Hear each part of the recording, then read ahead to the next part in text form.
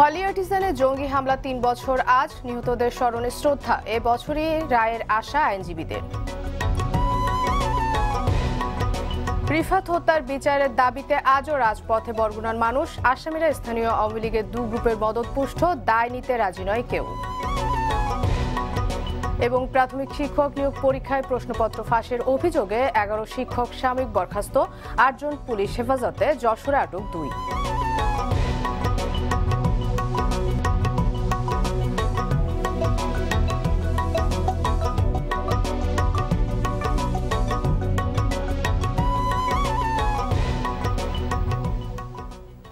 আসসালামু আলাইকুম। স্বাগত জানাচ্ছি আর টিভি জেলা সংবাদে। শুনছিলেন শিরোনাম, আপনাদের সঙ্গে আছি আমি মনাসাদাত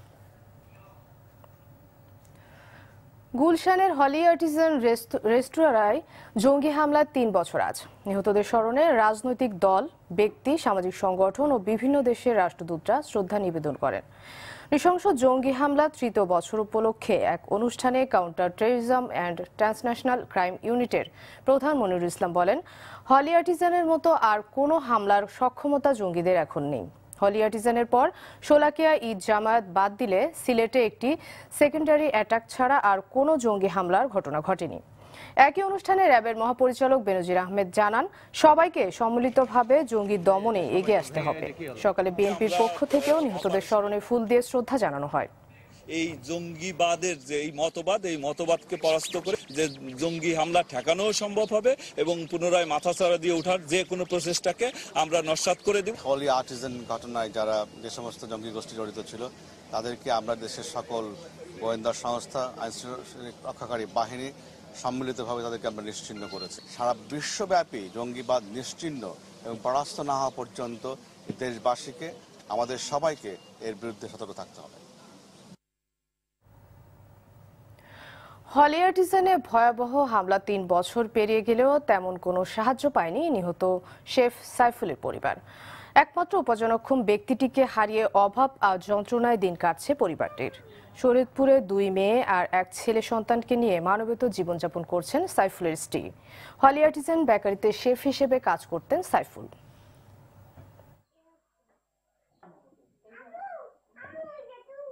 আশায় ছিলাম, যে লাশ দিব দিব দিব দিব আশায় ছিলাম, তখন আর লাশটা পাইনি, তারপরে খবরে দেখলাম যে একদিনে লেখা উঠল জানার মাটিটা হয়ে গেছে।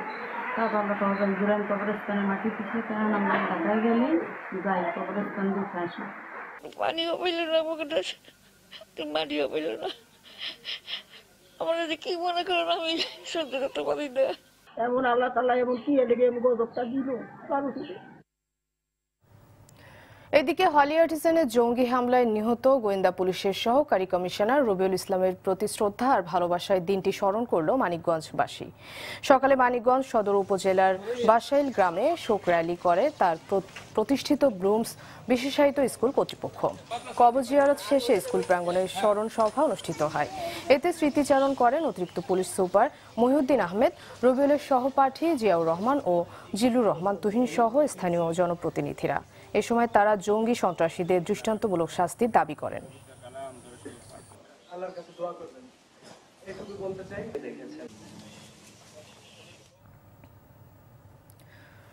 আলোচিত রিফাত শরীফ হত্যার বিচারের দাবিতে বরগুনা প্রেস ক্লাবের সামনে আজও মানববন্ধন করা হয়েছে। সকালে জেলা ছাত্রলীগ এ কর্মসূচি পালন করে। এ সময় জেলা ছাত্রলীগের সভাপতি জুবায়ের আদনান অনিক, সাধারণ সম্পাদক তানফির হুসাইন সহ বক্তারা হত্যাকারীদের দৃষ্টান্তমূলক শাস্তির দাবি করেন। এদিকে রিফাত শরীফ হত্যা মামলায় এই পর্যন্ত আটজনকে গ্রেপ্তার করেছে পুলিশ। তারা হলেন মামলার এজাহারভুক্ত আসামি চন্দন হাসান, অলি টিকটক হৃদয়, সন্দেহভাজন নাজমুল হাসান তানফির হোসেন, সাইমুন ও মোহাম্মদ সাগর গত বুধবার প্রকাশ্যে রাস্তায় স্ত্রীর সামনে রিফাত শরীফকে কুপিয়ে হত্যা করে দুর্বৃত্তরা। হত্যাকারী এবং সহ এর সহযোগী সকলকে অবিলম্বে গ্রেপ্তার করে আমরা এই ধরনের সকল হত্যাকারী এবং মাদক ব্যবসায়ীদের বিরুদ্ধে ঐক্যবদ্ধ হয়ে সবসময় প্রতিবাদ করে যাব। আমরা এই নয়নের মতো নয়নদের কি কারণে তারা জামিন পেয়েছে। কীভাবে তারা জামিন পেয়েছে? এবং কারা জামিন করিয়েছে? তাদেরকে আইনে আওতায় আনা উচিত দর্শক, বরগুনায় প্রকাশ্যে যুবককে কুপিয়ে হত্যার খবরাখবর সংগ্রহে আছেন আমাদের সহকর্মী মনির হোসেন কামাল। সেখান থেকে সরাসরি যোগ দিচ্ছেন তিনি। মনির, মূল আসামিদের গ্রেপ্তারে পুলিশের তৎপরতা কেমন দেখছেন? হ্যাঁ মনা আমরা দুপুর পর্যন্ত জানিয়েছিলাম যে এ পর্যন্ত আটজন গ্রেফতার হয়েছে। পরবর্তীতে আমরা আরেকটু আপডেট পেয়েছি। আমাদেরকে পুলিশ সুপার জানিয়েছেন যে তারা আরও একজনকে গ্রেফতার করেছে। এ নিয়ে রিফাত হত্যা মামলার নয়জন আসামি ধরা পড়েছে। তবে বরগুনার মানুষের প্রত্যাশা কিন্তু এখনও পূরণ হয়নি। কেননা তাদের দাবি ছিল রিফাত হত্যা মামলার প্রধান আসামি নয়ন বন্ড, রিফাত ফরাজি এবং রিশান ফরাজি এই তিনজনকে তারা দেখতে চায় যে পুলিশের হাতে তারা ধরা পড়েছে।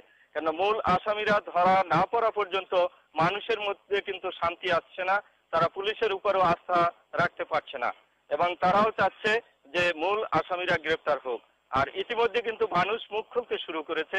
এতদিন যারা নিপীড়ন নির্যাতনের শিকার হয়েছে, হয়রানির শিকার হয়েছে, সেই সাধারণ মানুষ কিন্তু গত দুই তিন দিন ধরে মুখ খুলতে শুরু করেছে। এবং তারা কীভাবে অত্যাচারের নির্যাতনের শিকার হয়েছে সেই কথা কিন্তু আজকে প্রকাশ করছে। এবং তারাও চাচ্ছে এই হত্যাকারীদের বিচার।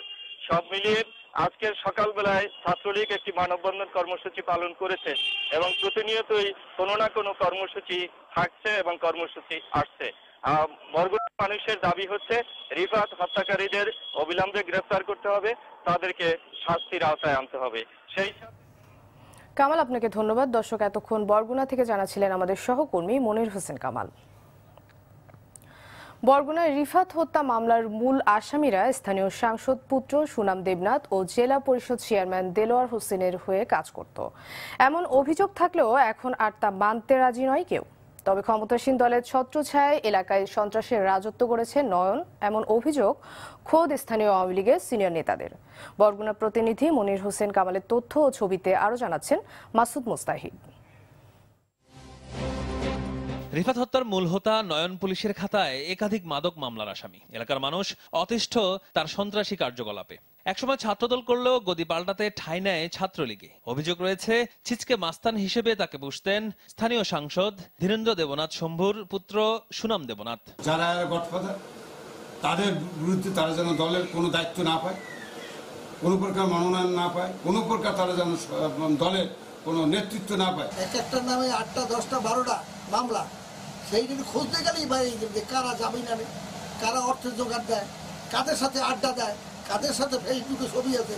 এগুলোর যদি একটি গোয়েন্দা সংস্থা ঠিকভাবে একটি তথ্য দেয় অল্পের মধ্যে বাইরে তবে এমন অভিযোগ অস্বীকার করে এমপি পুত্র বলছেন মূল আসামিরা জেলা পরিষদ চেয়ারম্যানের আত্মীয় স্বজন। রিফাত এবং রিশান এই দুইজন হচ্ছে আপন ভাই এবং এরা বর্তমান আমাদের যে জেলা চেয়ারম্যান রয়েছেন জনাব দেলাওয়ার হোসেন তার ভাইরার ছেলে যারা আমাদের শত্রুপক্ষের সাথে চলাফেরা করে। সে কখনো আমার বন্ধু হতে পারে এটা তো হতে পারে না। স্থানীয়রা বলছেন সময়ের কাজ সময়ে সেরেছে সবাই। এখন আর দায় নিতে রাজি নয় কেউই। বরগুনা জেলা পরিষদ চেয়ারম্যানও আত্মীয়তার সম্পর্ক মানতে নারাজ। নয়ন তার শত্রু ছাই থাকে। এমপি পুত্র।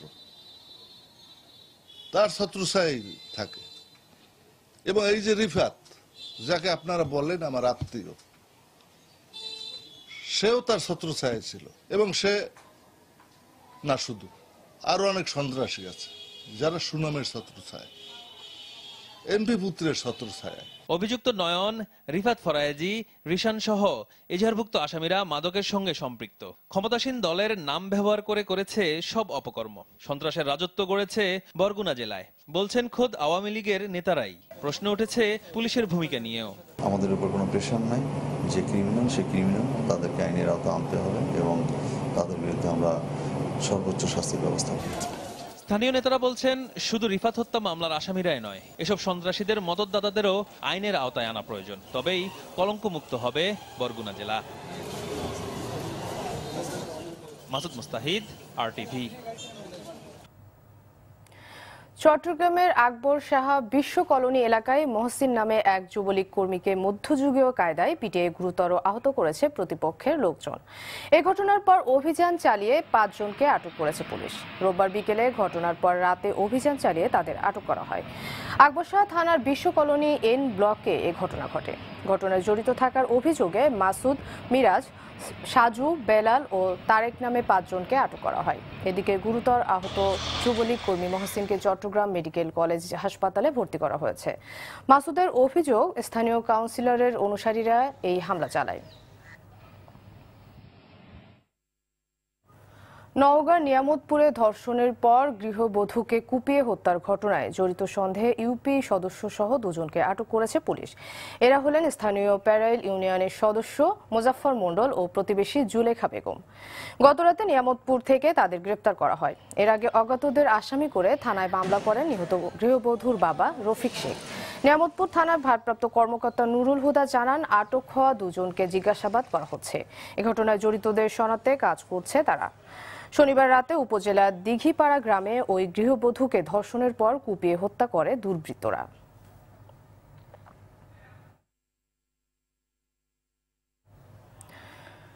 কিশোর ভ্যান চালক শাহিনের উপর হামলার প্রতিবাদে এবং হামলাকারীদের গ্রেফতার ও বিচারের দাবিতে যশোর ও সাতক্ষীরায় মানববন্ধন কর্মসূচি পালিত হয়েছে। প্রতিবাদ নয়, প্রতিকার চাই। এই স্লোগানে সোমবার দুপুরে মানববন্ধন করে যশোর ছাত্র কল্যাণ ফেডারেশন। এছাড়া প্রেস ক্লাবের সামনে অনুষ্ঠিত মানববন্ধনে সভাপতিত্ব করেন সংগঠনের জেলা সভাপতি শেখ শাকিয়া মরিন। এদিকে সাতক্ষীরা জেলা নাগরিক কমিটির আয়োজনে সোমবার সকালে সাতক্ষীরা প্রেস ক্লাবের সামনে মানববন্ধন কর্মসূচি পালিত হয়েছে। ঘটনার তিন দিন পেরিয়ে গেলেও কোনো আসামি গ্রেফতার না হওয়ায় বক্তারা পুলিশের ভূমিকা নিয়ে প্রশ্ন তোলেন। গত শুক্রবার ভ্যান চালক কিশোর শাহিনের মাথা ফাটিয়ে ভ্যান নিয়ে পালিয়ে যায় দুর্বৃত্তরা। বর্তমানে মুমূর্ষ অবস্থায় ঢাকা মেডিকেলে চিকিৎসাধীন রয়েছেন শাহিন। নোয়াখালীর বেগমগঞ্জে শাহাদাত হোসেন নামের এক যুবককে হত্যার প্রতিবাদে মানববন্ধন হয়েছে। বেলা এগারোটায় নোয়াখালী প্রেস ক্লাব প্রাঙ্গণে এই মানববন্ধন অনুষ্ঠিত হয়। মানববন্ধনে নোয়াখালীর বেগমগঞ্জের হাজিপুরে দিনের বেলায় প্রকাশ্যে গুলি করে যুবক শাহাদাত হোসেনকে হত্যার প্রতিবাদ ও খুনিদের দ্রুত গ্রেপ্তারের দাবি জানানো হয়। এতে নিহতের পরিবার, এলাকাবাসী ছাড়াও বিভিন্ন সামাজিক, সাংস্কৃতিক সংগঠন সহ সর্বস্তরের মানুষ অংশ নেয়। মানববন্ধন শেষে প্রধানমন্ত্রী ও স্বরাষ্ট্রমন্ত্রী বরাবর স্মারকলিপি দেওয়া হয়। নেত্রকোনার কেন্দুয়ায় প্রাথমিক শিক্ষক নিয়োগ পরীক্ষার প্রশ্নপত্র ফাঁসের ঘটনায় এগারো জন সরকারি প্রাথমিক শিক্ষককে সাময়িক বরখাস্ত করা হয়েছে। এ ঘটনায় আট জনকে জিজ্ঞাসাবাদের জন্য পুলিশি হেফাজতে নেওয়া হয়। জেলা প্রাথমিক শিক্ষক কর্মকর্তা মোহাম্মদ ওবায়দুল্লাহ জানিয়েছেন, সাময়িক বরখাস্ত এগারো জনের মধ্যে তিনজন প্রধান শিক্ষক ও বাকি আটজন সহকারী শিক্ষক। এর আগে শুক্রবার সকালে প্রাথমিক শিক্ষক নিয়োগ পরীক্ষা চলার সময় প্রশ্নপত্র ফাঁসের সঙ্গে জড়িত থাকার অভিযোগে তাদের আটক করা হয়। এদিকে যশোর অঞ্চলে বিভিন্ন নিয়োগ পরীক্ষার প্রশ্নপত্র ফাঁস করার অভিযোগে দুজনকে আটক করা হয়। এই দুজন পরীক্ষার্থীদের উত্তরপত্র সরবরাহ করার কথা বলে মোটা টাকা হাতিয়ে নিত। পানি সম্পদ উপমন্ত্রী ও আওয়ামী লীগের সাংগঠনিক সম্পাদক A K M Enamul Haque Shamim বলেছেন, নদী ভাঙ্গনে ক্ষতিগ্রস্তদের পুনর্বাসনে কাজ করছে সরকার। ভাঙ্গন রোধে সব ধরনের ব্যবস্থা নেওয়া হচ্ছে। সকালে মুন্সীগঞ্জের লোহজংয়ে পদ্মা নদীর ভাঙ্গন কবলিত এলাকা পরিদর্শনে এসে এসব কথা বলেন তিনি। এ সময় মুন্সীগঞ্জ দুই আসনের সংসদ সদস্য অধ্যাপিকা শাগুপ্তা ইয়াসিন এমিলিও উপস্থিত ছিলেন।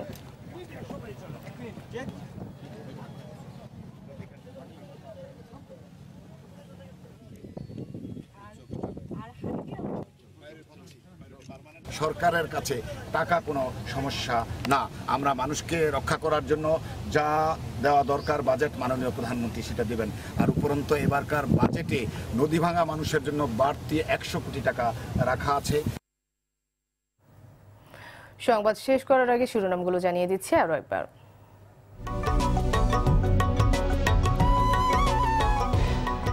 হলি আর্টিজানের সন্ত্রাসী হামলা তিন বছর আজ, নিহতদের স্মরণে শ্রদ্ধা। এবছরই রায়ের আশা আইনজীবীদের। রিফাত হত্যার বিচারের দাবিতে আজও রাজপথে বরগুনার মানুষ, আসামিরা স্থানীয় আওয়ামী লীগের দু গ্রুপের মদতপুষ্ট দায় নিতে রাজি নয় কেউ। এবং প্রাথমিক শিক্ষক নিয়োগ পরীক্ষায় প্রশ্নপত্র ফাঁসের অভিযোগে এগারো শিক্ষক সাময়িক বরখাস্ত, আটজন পুলিশ হেফাজতে যশোরে আটক দুই। জেলা সংবাদ এই পর্যন্তই। আর টিভির সবশেষ সংবাদ জানতে যে কোনো মোবাইল ফোন থেকে two four one four one নম্বরে ডায়াল করুন। আর মোবাইল ফোনে সংবাদ দেখতে app store Google play window store থেকে ডাউনলোড করুন আর টিভি অ্যাপস এছাড়াও তাৎক্ষণিক ও বিনোদন সংবাদ জানতে বিশ্বের যে কোনো প্রান্ত থেকে ভিজিট করুন Facebook dot com slash R TV online এবং YouTube dot com slash R TV digitals এতক্ষণ সঙ্গে থাকায় ধন্যবাদ সবাইকে।